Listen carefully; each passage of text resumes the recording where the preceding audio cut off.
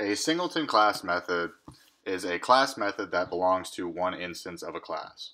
So pretend we had a dog and its name is going to be Cooper.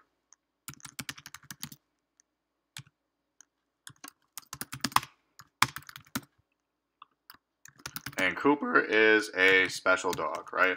So Cooper can do all sorts of tricks that other dogs cannot do. So the, the tricks of a dog would be their methods, but Coop is special, so he can do tricks that no one else can do.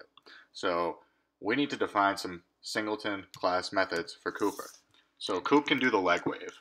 So how do you define a singleton class method? Well, you can call on the object, and you can um, do dot define singleton method, and you can pass in a symbol. And we'll do, the symbol will be the name of the method that you are creating, and it takes a block. So the block will be the code that is actually inside of the inside of the method we're creating. So we'll just put we'll put is waving his leg. So Coop's le leg waving. You can also do def object dot um, thump That'll be the name of the method. So dot, then method name. You know, puts Coop is thumping his tail. And you'll see that if we do Cooper dot thump, we call Cooper dot leg. And we come over to our terminal.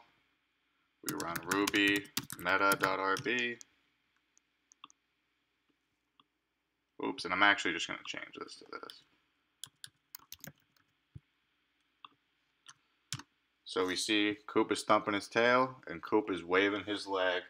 And these are defined in singleton class methods because they are unique to the this specific instance of the dog class.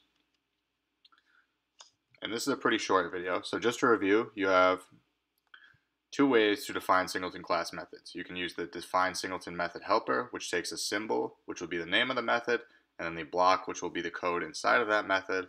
Or you can just do def object dot the new method name followed by the code inside of that method. That's it for this video. Thank you for watching. I'll see you in the next one.